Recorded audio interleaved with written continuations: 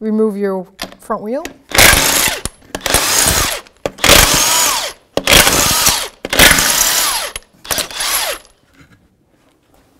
First thing I'm going to do is break away the caliper sliding bolts, 12 millimeter wrench or socket. I just want to break them free so that when I break the flex hose off, I'm not moving this thing around and getting fluid to pop out. Now with a 9 16 wrench, I'm going to break free this caliper banjo bolt. That's where the fluid comes in from the flex hose. You're going to get a mess. So I have a catch pan. Now you're going to want to make sure, if you're not replacing your flex hose, that the copper washer is off on the bolt side. And let's see if it's stuck on the caliper side. And it is. The new caliper comes with a new banjo bolt and new copper washers. First thing I like to do is apply the hose. So I'm going to put the new copper washer on the new banjo bolt, slide it right through the hose. I'm going to put the other copper washer on that. Then I can grab my new caliper and line up that flat part of that flex hose with the caliper before, definitely before it gets tightened. So hand start it. So once it's started, you can get your socket, a ratchet, and start tightening it down. I'm just going to snug it, make sure it's, try to get it to stop leaking, and then I'll let it hang down here while I take the caliper off.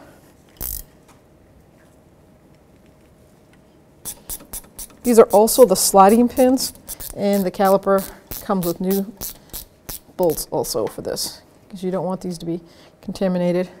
You want them to have a nice sliding surface. Now you can just grab it and slide it right out. So now you're going to take your old pads off and transfer them from the old caliper to the new one.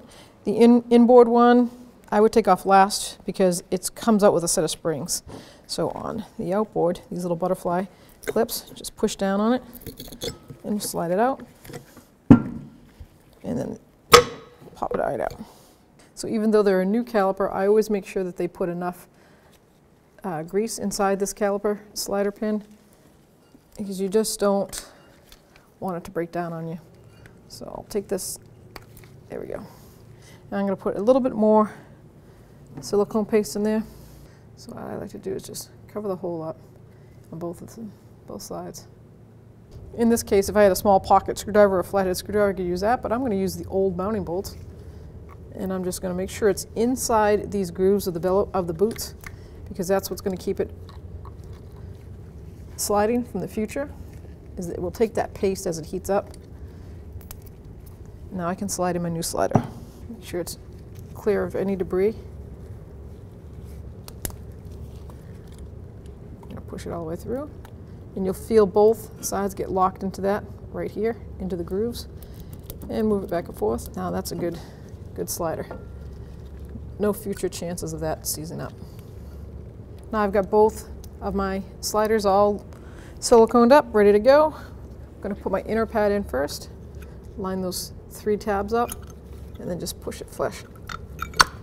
And the outside is going to be just line that metal tab up. Slide it down. You would check your knuckle to make sure that there's no major rust clips, you know, chips there, and there isn't. So now we can just slide this right down in. I'm gonna go bottom in first. Make sure your slider's out of the way.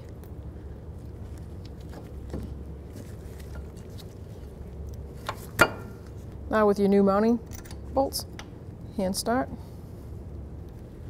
both of them. That way you know they're centered. 12 millimeter wrench or socket. Just bottom them out. Then we're going to get the torque specs and torque them up.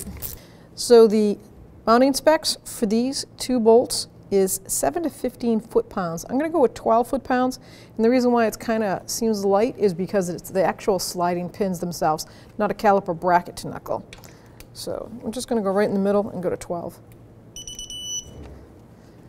That way I know it's definitely tight, but it's not going to break it.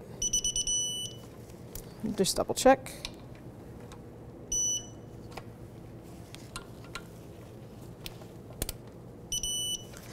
Now I'm just going to grab my 9 16 wrench and I'm going to snug up the flex hose. I want to make sure that those copper washers in that new banjo bolt seat properly. And this is where we're going to gravity bleed it. So I'm going to just take the rubber boot off. And you want to protect this. You want to put this back on. It stops dirt, road salt, sand, all the above from getting inside there and making that useless. 3 8 wrench, and I'm just going to open this bleeder screw and we're going to gravity bleed that. I've already checked my master cylinder and I topped it off.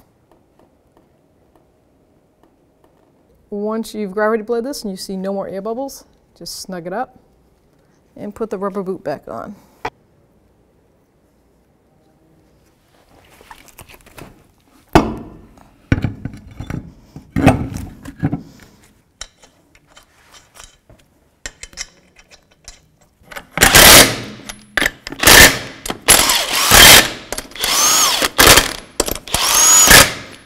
Took the wheels to 100 foot-pounds.